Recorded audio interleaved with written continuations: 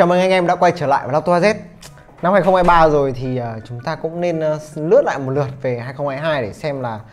có những cái mẫu laptop nào ngon mà lại còn giá rẻ Và lâu lâu thì mình cũng lướt luôn xuống 2021 để tìm ra những cái mẫu máy nó rẻ hơn một chút để cho anh em có thể mua về và sở hữu và sử dụng trong khoảng thời gian lâu dài trong những đợi cái lúc mà những cái mẫu sản phẩm mới hơn, tốt hơn của cái dòng sản phẩm đó được ra mắt. Ok, không chần chừ thêm nữa, hãy cùng đến với top 3 gaming dưới 20 triệu.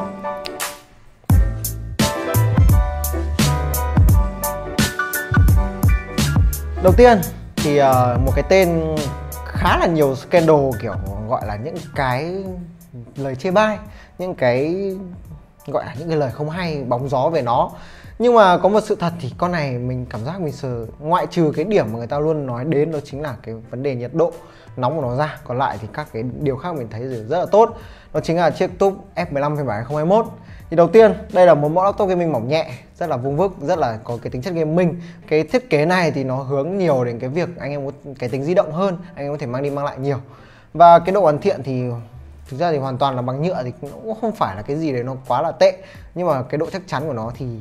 tất nhiên là nó phải được đảm bảo thì nó mới có thể gánh được cái nhiệt độ khá là cao khi mà anh em sử dụng để chơi những cái tựa game nặng. Còn với những tựa game esports thì thực sự là nó không quá nóng đâu nó chỉ rơi vào khoảng 65 đến 70 độ thôi. Đấy là cái nhiệt độ rất bình thường khi chơi game esports rồi. Tiếp theo đến thì uh, chúng ta phải nói về vấn đề cổng kết nối. Thì một chiếc laptop gaming mỏng nhẹ thì liệu nó có đầy đủ cái cổng kết nối hay không? Thì uh, đối với chiếc túp M15 2021 thì chúng ta có bên phải có một chiếc cổng A, bên trái chúng ta có một cổng sạc này, một cổng RJ45, một cổng HDMI, hai cổng Type A, một cổng C có tích hợp Thunderbolt 4 và chúng ta sẽ có một jack tai nghe 3.5. Thì cái cách thiết kế cổng kết nối này thì nó hơi um, bị tối ưu hóa về phía bên phải một chút. Khi mà anh em uh, có thể cắm dây các thứ thì mình thấy khá là tiện cho cái việc mà anh em xuất màn hình rời thôi. Còn nếu anh em set up một cái khu vực làm việc của mình thì nó sẽ hơi ngược tay một tí. Bởi vì thường anh em muốn giấu dây nó gọi là giấu dây nó kỹ kỹ một tí thì cái việc mà đưa máy sang bên phải sử dụng này nó cũng sẽ khá là khó khi mà anh em phải thao tác với chuột rất là nhiều nếu anh em có PC hay là thao tác với màn hình rời ở cái phía góc bên này. Thì thường cái bên, bên phải ở phía nó không tiện lợi cho lắm thì cái này nó hơi điểm trừ một chút nhưng không sao. Sang đến một cái vấn đề tiếp theo mà anh em khá là quan tâm khi uh, chơi uh, trên laptop gaming đó chính là về phần màn hình với cái tần số quét. Thì uh, với mức giá là 17 triệu thì chúng ta sẽ sở hữu một chiếc màn hình với 144 Hz rất là ok tiếp theo đến thì là màn hình là 15,6 inch với tấm nền 2PS và Full HD thì uh, với mức giá 17 triệu thì cái phổ màu nó cũng không thể nào mà cao được nhưng nó ở cái mức trung bình rơi vào khoảng 65% sRGB 47% Adobe RGB và cái độ sáng lên tới là 322 nit và cái ờ, độ tương phản là 1440 trên 1 thì đây là một cái điểm cộng để bù lại cái phần phổ màu hơi kém kia một chút để anh em có thể làm những cái việc đồ họa ở mức cơ bản hay là mang đi đi học về multimedia. Ok, đến phần tiếp theo chính là phần bàn phím và touchpad thì uh, mình nói thẳng luôn touchpad là một điểm yếu của chiếc máy này với một chiếc touchpad phủ nhựa. Thì uh, khi mà mình uh, sử dụng này thì nó khá là rít nhưng bù lại thì nó rất là to và cái độ nhạy của nó rít thế thôi nhưng mà cái phản hồi chuyển động của nó rất là tốt. Tiếp theo đến thì với bàn phím thì là một chiếc bàn phím dẫn chất gaming với những cái phím mà chúng ta thường sử dụng như là WASD hay là phím cách hay là phím điều hướng thì với WASD thì sẽ được làm một cái màu khác đi, một cái layout khác, màu trắng với cả chữ màu đen. Phím cách thì là làm to hơn để anh em có thể dễ bấm hơn với cái ngón cái bên này. Và cái phần phím điều hướng thì tuy nó có khác biệt một chút nhưng mà nó hơi bị bé cho nên là trải nghiệm sử dụng chơi game với những phím điều hướng thì nó không được tốt cho lắm. Cái này phải đánh đổi thôi, không sao cả. Ok, để có thể chiến những tựa game à, từ esports cho đến những game nặng thì chúng ta phải quan tâm đến cấu hình. Thì cấu hình của túp F15 phiên bản 2021 thì chúng ta có i5 Gen11 với 1400H với 6 x 12 luồng với à, turbo boost lên tới là 4.5 GHz và TDP có thể lên tới là 45W. Thì may đây không phải là một chiếc ờ, i5 11320 phiên bản bị cắt giảm nhân, cắt giảm luồng, cắt giảm cả xung nhịp và điện để bị uh, gọi là giảm hiệu năng rất là đáng kể. Tiếp theo đến thì chúng ta sẽ có cả đồ họa là RTX 3050 với 4GB RAM và 75W với uh, có sẵn luôn là đó chính là 8GB RAM và cùng với đó là SSD uh, 512GB thì đây là một cái cấu hình rất là vừa đủ để anh em có thể chơi những tựa game từ esports cho đến những tựa game nặng mà có một cái FPS rất là ổn định và chơi trong vòng lâu dài. Về uh, thời lượng pin thời lượng pin thì với một màn hình 332 nit với ờ, độ tương phản khá là cao thì ờ, uh, 48Wh chỉ sử dụng được khoảng 2 tiếng với độ sáng cao nhất thôi. Còn nếu anh em giảm độ sáng xuống khoảng tầm 70 hoặc là dưới một chút nữa khoảng 50 nếu anh em ra ngoài trời thì thời gian sử dụng sẽ kéo dài được tối đa khoảng 30 đến 45 phút. Cái này mình nghĩ là cũng ok đối với một chiếc laptop gaming ở tầm giá 17 triệu rồi. Về khả năng nâng cấp mỏng nhẹ nhưng mà khả năng nâng cấp không hề thiếu. Chúng ta sẽ có hai khe RAM và hai khe M2 NVMe để anh em có thể nâng cấp về cả lượng RAM và cả lượng dung lượng anh em có thể lưu trữ ở trên máy. Tiếp theo đến thì uh, tổng kết lại. Chúng ta có gì ở top F15 2021 chúng ta sẽ có một chiếc máy mỏng nhẹ nhiệt độ hơi cao một chút tản nhiệt nó cũng chỉ làm được đến thế thôi với cái không gian như thế. Thì đáp ứng được tất cả những tựa game nhẹ nhưng nặng lên mình thoại CSGO, Valorant các thứ thì rất thoải mái. Chơi tựa game 3 như là Halo Infinite hay là Shadow the Tomb Raider cũng đáp ứng được một cái mức FPS rất là cao với một cấu hình từ ờ, thấp cho đến trung bình. Cao thì nó hơi nóng quá thì sẽ dẫn hiện tượng sung. Ok, làm việc multimedia cũng rất là cơ bản đối với một chiếc màn hình phổ màu không được cao lắm nhưng mà nó vẫn sẽ đáp ứng được với chiếc Intel. Đến với mẫu sản phẩm tiếp theo thì uh, nó là đời mới hơn, chúng ta sẽ có HP Victor 16 phiên bản 2022 là một cái mẫu laptop mà nghe đến hãng thôi. Là anh em có thể dễ dàng thuyết phục bố mẹ mua để mua về để học tập. Nhà tác dụng ờ, phụ là chơi game. Thì uh, đây vuông vức này gọi là logo đơn giản nhẹ nhàng rất giống với bên nhà đeo. Thì uh, phụ huynh chỉ cần nhìn vào thôi là đã có thể được 50% là có thể đáp ứng được điều này rồi. Và chưa kể mức giá rất là rẻ nữa chỉ rơi vào khoảng 18 triệu thôi. Hơn uh, túp S15 phiên bản một tí. Còn về độ hoàn thiện thì chắc chắn là full nhựa rồi. HP vector thì từ trước giờ vẫn thế. Về uh, cái ờ, ngôn ngữ thiết kế thì rất là văn phòng nó rất là nịnh mắt đối với những cái người uh, lớn tuổi hoặc là anh em nào thích cái sự nhẹ nhàng và đơn giản. Ok đến với phần tiếp theo mà anh em cũng khá là quan tâm đó chính là về phần cổng kết nối. Thì uh, không như túp F15 thì chúng ta dồn nhiều cổng kết nối hơn về phía bên trái chúng ta sẽ có một cổng sạc chúng ta sẽ có một cổng à, uh, RJ45 chúng ta sẽ có một cổng HDMI một cổng USB A một cổng USB C thì uh, với uh, chip là AMD thì không có hỗ trợ Thunderbolt nhưng mà có hỗ trợ uh, DisplayPort chúng ta sẽ có một jack tai nghe 3.5 chúng ta có một khe SD full size nữa. Phía bên phải thì chúng ta chỉ có độc uh, hai uh, cổng USB A thôi thì tốc độ truyền tải thì hơi kém cái cổng A bên trái một tí. Cái này uh, nó sẽ tối ưu cái phần uh, setup ở bên trái hơn là bên phải thì mình thấy rằng cái thiết kế cổng kết nối này là tiện tay hơn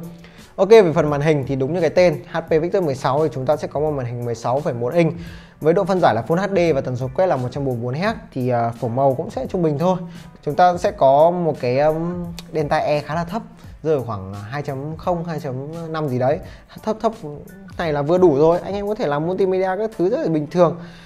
Thực ra thì cái phổ màu thấp thì nó cũng phải, không phải là một điểm yếu đâu khi mà anh em tiếp xúc với cái màu. Mặc dù nó không chính xác ờ, đến cái mức là 100% nhưng mà nó cũng sẽ đáp ứng được hơn một nửa, khoảng 65% đến 47% thì cái này cũng là điều anh em đi học thì cũng không phải quá nặng đâu. Khi nào ra làm việc thì mình có thể sắm một chiếc màn hình rời, hoặc là mình ờ, với tầm tiền này thì mình cũng có thể build một chiếc PC khá là ngon rồi. Ok, tiếp theo sẽ đến phần bàn phím thì chúng ta sẽ có một chiếc bàn phím đủ cứng đủ sâu độ phản hồi cực kỳ tốt kèm theo một cái layout rất dễ làm quen. À, được bê về từ uh, những cái dòng uh, Ultrabook của HP bê xuống. Rất là tốt. Và tiện lợi hơn những dòng Ultrabook đó chính là có LED RGB Touchpad thì ờ, cái này là một điểm cộng hơn so với chiếc Top M15 chúng ta sẽ có một chiếc touchpad rất rộng thoải mái. Mặc dù là phủ nhựa nhưng mà cái cảm giác chạm nó sẽ giống với chiếc Top M15 thôi. Hơi zip một chút nhưng mà độ phản hồi rất là tốt ừ, thực ra thì đối với mình thì mình thấy là HP Victor 16 tệ hơn cơ thì nó hơi bị gượng nghĩa là sao nhỉ nó sẽ hơi cần cấn hơn một chút chứ không nó không chỉ đơn thuần là zip thôi nhưng mà bù lại cái điều này thì chúng ta sẽ có một cái cấu hình rất là mới đó chính là với Ryzen 5 6600H với 6 nhân và 12 luồng turbo boost lên tới 4.5 GHz và TDP là 45W. À, ờ, chúng ta cũng sẽ có RTX 3050 4GB RAM với 75W và chúng ta sẽ có sẵn 16GB RAM DDR5. Chúng ta sẽ có luôn một SSD 512GB thì đây là một cái cấu hình mà khiến cho anh em không phải quá lo ngại về việc khả năng nâng cấp ngay và luôn bởi vì nó có sẵn 16 GB rồi. Đua trên nổ và sẽ bung được hết hiệu năng. Về khả năng nâng cấp thì uh, với 16 GB RAM có sẵn thì chúng ta cũng sẽ có luôn hai khe RAM và hai khe M2 NVMe anh em lưu ý nhé đây là RAM DDR5 tiếp theo đến thì chúng ta sẽ ờ, tổng kết lại về HP Victor 16 một chiếc laptop gaming văn phòng nịnh mắt nịnh bố mẹ và ok đáp ứng được game nhẹ tốt game nặng cũng tốt. Nhưng mà cái phần nhiệt độ nó sẽ cải tiến hơn so với những cái mẫu laptop gaming mỏng nhẹ. Ok làm được cả multimedia hay là viết code các thứ thoải mái lập trình chỉ ở mức cơ bản thôi. Lập trình cao quá thì uh, anh em phải nâng thêm ram nó mới bung hết hiệu năng được. Và đến với một cái mẫu laptop gaming quốc dân trong cái tầm giá này đó chính là Nitro 5 phiên bản 2022 phiên bản này hơi đặc biệt một chút đó chính là sở hữu một chiếc màn hình 17 inch với uh, cấu hình của 2022 thì mình sẽ nói luôn về phần cấu hình. Thì uh, cấu hình sẽ là Intel i5 Gen 12 12500H với 12 nhân 16 luồng. Turbo Boost uh, ờ, hơi giống với hai mẫu máy trước đó chính là 4.5 GHz nhưng mà TDP có thể lên tới 95W tiếp theo đến thì chúng ta sẽ có sẵn 8GB RAM DDR4 thôi. Chúng ta sẽ có SSD rồi chính là 256GB và RTX 3050 thì à, với cái à, cấu hình này thì thực ra thì i5 Gen 12 được rất nhiều lời khen rồi. Anh em cũng đã nghe qua rất là nhiều rồi hiệu năng rất là tốt. Game nhẹ game nặng kể cả không mắc switch nó cũng sẽ cho ra một cái mức hiệu năng rất là tốt và FPS cao. Ví dụ như tựa game CSGO mình test có thể lên tới 280 FPS là chuyện bình thường và nó sẽ duy trì ổn định ở mức 260 thì uh, nói về thiết kế và độ hoàn thiện thì anh em cũng đã quen với Nitro rồi. To, nạc, hầm hố, dày và cục xúc. Và đó là những từ thì mình có thể nói về độ hoàn thiện của Nitro 5 thì anh em đã quẹt quá quen rồi Mà trước kể đến nó có một chiếc màn hình 17 inch nữa Thì nó cũng sẽ cục xúc hơn rất là nhiều. Về độ hoàn thiện thì chúng ta vẫn sẽ có phun nhựa này, dày bản và cái độ flex thì nó chỉ đoạn giữa thôi bởi vì nó là 17 inch cho nên là cái không gian của nó hơi bị trũng xuống một tí ở phía bên dưới nó hơi rỗng ấy cho nên là anh em sẽ thấy flex ở đó về phần cổng kết nối thì sao? Chúng ta sẽ có ở phía bên trái, chúng ta sẽ có một cổng LAN này một cổng A và một dây tai nghe 3.5 phía bên phải thì chúng ta có thêm hai cổng A nữa, với tốc độ truyền tải nó hơi kém hơn một chút so với phía bên trái. Còn về đằng sau thì chúng ta sẽ có một cổng sạc, một cổng HDMI hỗ trợ xuất hình và một cổng Type C cũng sẽ có DisplayPort cho anh em, thoải mái luôn. Nói về phần màn hình thì uh, màn hình sẽ là 17 inch, 17,3 inch với tỷ lệ 16 9 thì cho nên nó dư ra một chút là phải 3 với ờ, độ phân giải là Full HD và tấm nền là IPS với tần số quét vẫn là 144 Hz với cả ba bộ máy. Còn tiếp theo đến thì chúng ta sẽ nói về phần bàn phím thì bàn phím của Nitro 5 thì nó cũng tương tự thôi. Nó sẽ vẫn rất là sâu, nó vẫn sẽ vẫn rất là dày và khi anh em bấm vào thì nó sẽ có một cái độ nảy rất là tốt. LED RGB cũng rất là đẹp nhưng mà LED RGB này ở đây chỉ là đơn sắc thôi. Kê nói đến ờ, uh, touchpad thì 17 inch mà touchpad làm không to thì nói thẳng luôn là mình sẽ bị chê nhưng không bởi vì nó làm to cho nên mình sẽ khen. Uh, mặc dù vẫn là phủ nhựa nhưng mà thực sự ra là nếu mà xét theo cả ba mẫu máy này thì mình thấy rằng đây là trải nghiệm sử dụng của Nitro 5 là tốt nhất. Ok vậy thì nói tiếp theo đến cái vấn đề mà anh em khá quan tâm trên laptop gaming đó chính là về vấn đề pin. Thì pin của chiếc Nitro 5 này sẽ sử dụng tối đa được khoảng 3 cho đến 4 tiếng với cái mức độ sáng là cao nhất. Bởi vì uh, cái thỏi pin này khá là to với một chiếc 17 inch rồi nhưng mà nó nhỏ thì khi mình mở ra thì không như kỳ kỳ vọng của mình là nó sẽ là cái cục pin của phiên bản 15 inch cho nên nó cũng không cải thiện nhiều về cái thời lượng pin cho lắm. Xét về khả năng nâng cấp thì chúng ta cũng sẽ có hai k RAM, hai khe 12 NVMe. Ok vậy thì tổng kết lại về Nitro 5 thì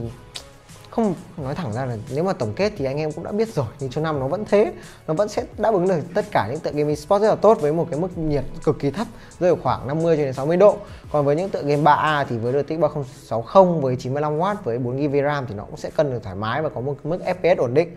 Và tiếp theo đến thì anh em nào viết code, anh em nào ờ, làm lập trình chạy máy ảo hay là multimedia đi chăng nữa thì với cái khả năng nâng cấp tuyệt vời, với cái một cái màn hình ờ, đủ để anh em có thể sử dụng với cái phổ màu hơi trung bình một chút nhưng mà cái độ sáng cao và độ tương phương phản tốt, thì ok là mức cơ bản hay bán chuyên đều rất là ổn ở trong cái tầm giá này.